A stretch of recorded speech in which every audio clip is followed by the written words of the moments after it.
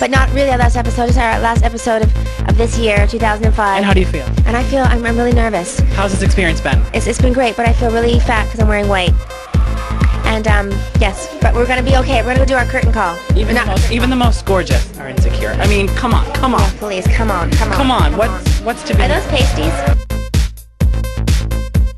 Any, anything for PamelaAnderson.com. Anything, anything. I love you, Pam.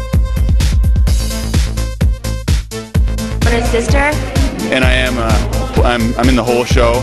I th- I've heard they've cut it down a little bit, so we'll find out. But I had, I think, 50 lines. The football! The football! The football. It's Entire final? Okay, that was our final our show. final call. Final curtain call for, for this year. for 2005.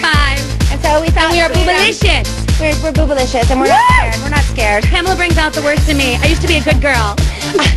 Yeah, right. So there was Pam. And then there was Pam. Thank you so much, Pamela.